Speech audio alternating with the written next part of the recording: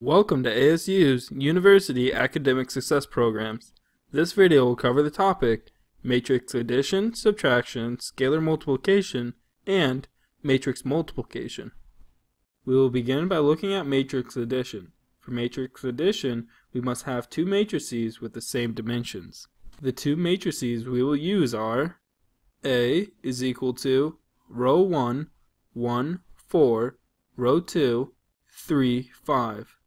Matrix B is equal to row 1, 7, 3, row 2, 4, 8. Now we can add matrix A to matrix B.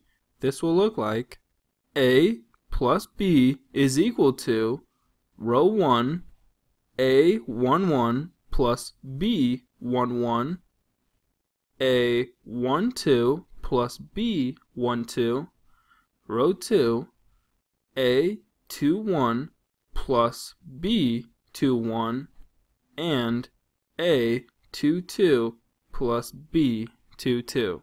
Since this is the form of addition we must follow, we can now insert our values and solve. When we substitute in the values, we will have a plus b is equal to row 1, 1 plus 7, 4 plus 3, row 2, 3 plus 4, 5 plus 8.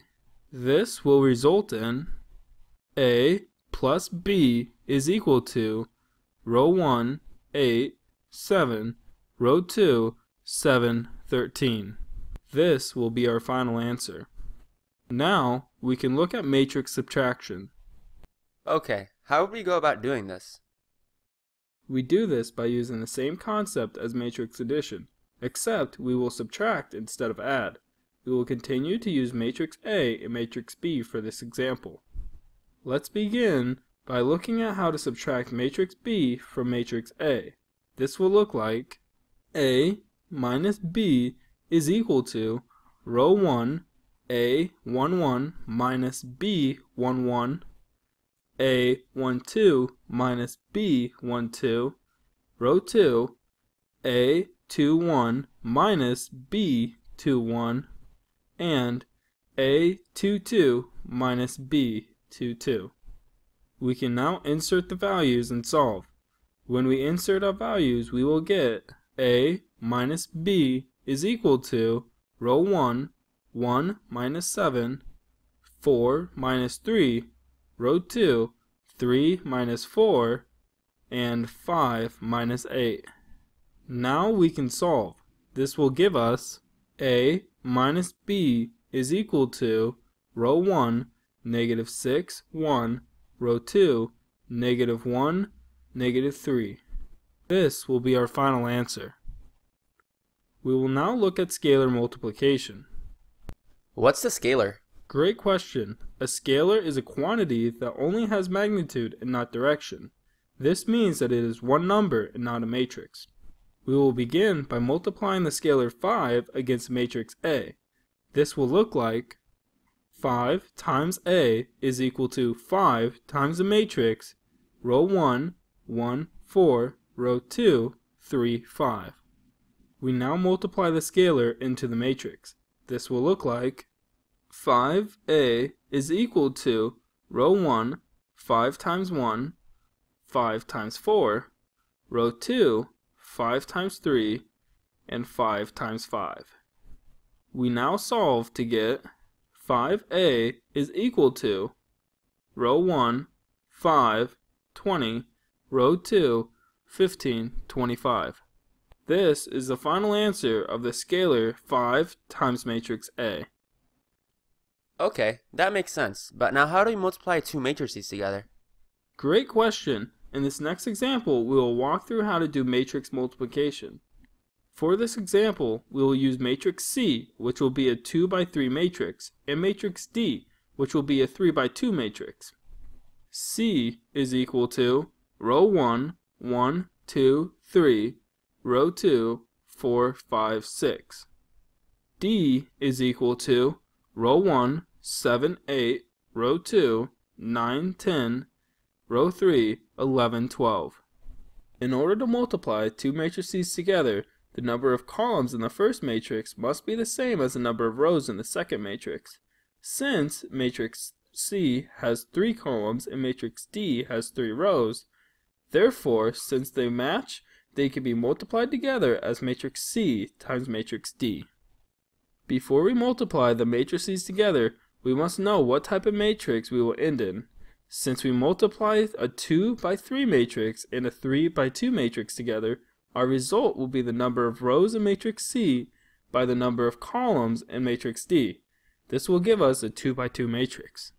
Now that we know we can multiply the matrices together and what type of matrix the product will be, we can now begin the problem. We begin matrix multiplication by taking the dot product of the first row of C and the first column of D. This will look like 1, 2, 3, dot 7, 9, 11 is equal to 1 times 7 plus 2 times 9 plus 3 times 11 is equal to 58. We now know that 58 will be in the 1, 1 position of the answer matrix. Now to find the number for the 1, 2 position on the answer matrix, we'll take the dot product of the first row of matrix C and the second column of matrix D.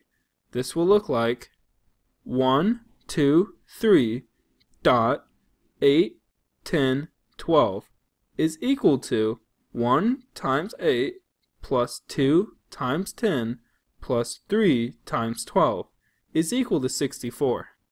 We now find the number in the 2, 1 position by taking the dot product of the second row of matrix C and the first column of matrix D. This will give us 4, 5, 6, dot, 7, 9, 11 is equal to 4 times 7 plus 5 times 9 plus 6 times 11 is equal to 139. We can now find the last number in the 2, 2 position by taking the dot product of the second row of matrix C and the second column of matrix D. This will give us 4, 5, 6, dot, 8, 10, 12 is equal to 4 times 8 plus 5 times 10 plus 6 times 12. Since we know the numbers and what position they will be in, we can now write out our solution.